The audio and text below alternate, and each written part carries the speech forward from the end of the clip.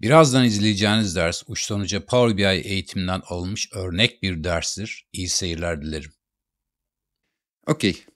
Many to many kullanabileceğimiz ilişki tiplerinden bir tanesi Power BI veri modellerinde ve bütçe özelinde bir örneğini yaptık. Hatırlarsanız ürünler ve bütçe tablolarını kategori sütunları üzerinden many to many bağlamaya kalktığımızda bizi sarı bir uyarı mesajıyla karşılaştırıyor. Teknik olarak yapabilirsin ama ne yaptığını biliyorsun umarım anlamında bir uyarı. Çünkü one to many'e göre many to many ilişkilerin davranışları bazen farklı.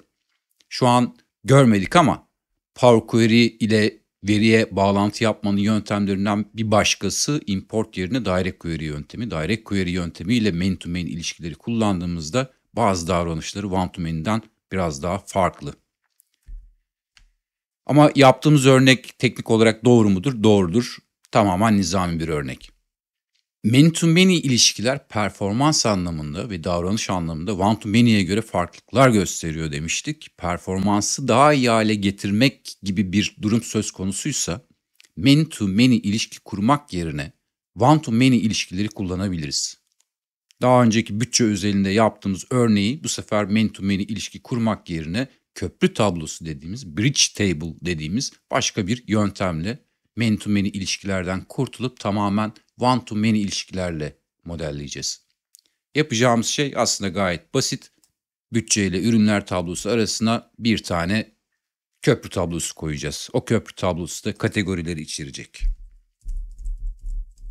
Kategorilerin tekil listesini iç- içerecek. Bu kategorilerin tekil listesini içeren bir nevi kategori master tablosu bütçe ve ürünler tablosu arasında bir nevi köprü vazifesi görecek ve biz kategorilerdeki kategori sütununu ürünlerle ve bütçe tablosundaki kategori sütunuyla one to many eşleştireceğiz. Bu kategoriler tablosunu nasıl elde edebiliriz? Bunu elde etmenin birden fazla yöntemi var. DAX ile yapabiliriz, Power Query ile yapabiliriz. Bu tür durumlarda ben Power Query'yi tercih ediyorum. Genellikle çok daha temiz ve çok daha yönetilebilir bir çözüm olması açısından. Transform Data veri modeli tarafından Power Query tarafına geçiş yaptım. Bizim bütçemiz neydi? Bizim bütçemiz kategoriler üzerinden yapılan bir bütçeydi. Ürünler tablosunun bir kopyasını alacağım. Duplicate. Buna sağ tık rename. Kategori köprü tablosu diyelim. Bana buradan kategorilerin tekil listesi lazım. Remove other columns. Nasıl tekilleştiriyorduk? Remove rows. Tekrarlayanları uçur. Bu bizim bir nevi kategori master tablomuz oldu artık. Bunu modele alıyorum. Ürünler ve bütçe arasında one to many ilişki kategori sütunları üzerinden kuruldu. Köprü tablosu her iki tablo arasında adı üstünde köprü vazifesi gören bir tablo. İşte bu şekilde yaptığımızda many to many ilişkilerden kurtulup sadece one to many ilişkilerle aynı durumu modellemiş oluyoruz. İsterseniz görseller tarafına geçelim. Ürünleri açalım. Kategori köprü tablosunu açalım. Şimdi görsellerde hangi kategoriyi kullanacağız? Hangi kategori sütununu bizim görsellere düşürmemiz gerekiyor? Eğer ürünler tablosundaki kategori sütununu görsele düşürürsek hedef aynı çıkacaktır her kategori için. Neden? İlişkilerin ok yönleri gene devreye giriyor. Gene konteks kavramı devreye giriyor. Filtrelerin taşınması devreye giriyor. Bu matriste şu an satırdaki gözüken kategori ürünler tablosundaki kategori. Dönelim veri modeline. Ürünler tablosundaki kategori burada. Satışına gidebiliyor mu? Problem yok. Bütçeye gidebiliyor mu? Bütçeye gitmeye kalktığında buradaki ok yönü gitmesine, daha doğrusu filtreyi taşımasına müsaade etmiyor.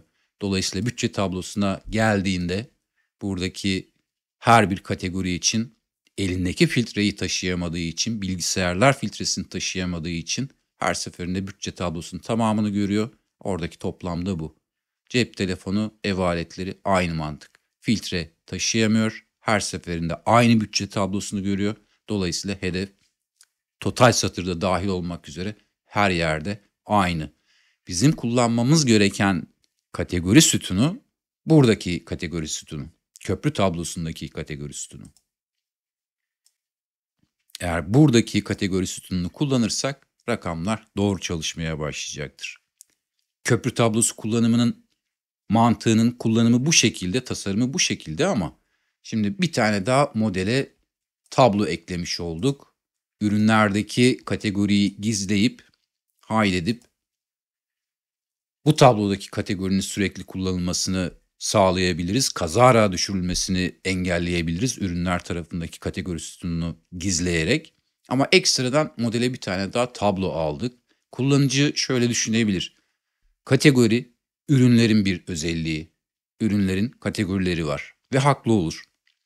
O yüzden bu tercihi şöyle değiştirebiliriz. Buraya tekrar kategori sütunu olarak biraz önce hide ettiğim, biraz önce gizlediğim ürünler tablosundaki kategoriyi getireceğim. Ürünler tablosundaki kategori. Aynı rakam gözüküyor. Yapmak istediğim şey şu. Bu aradaki köprü tablosunun gene çalışmaya devam etmesini istiyorum. Ama bu kategori köprü tablosunu modelde gizleyeceğim.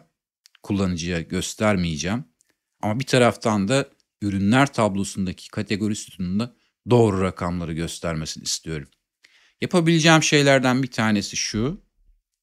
Şu an ürünler tablosundaki kategori var. Hedef her yerde aynı.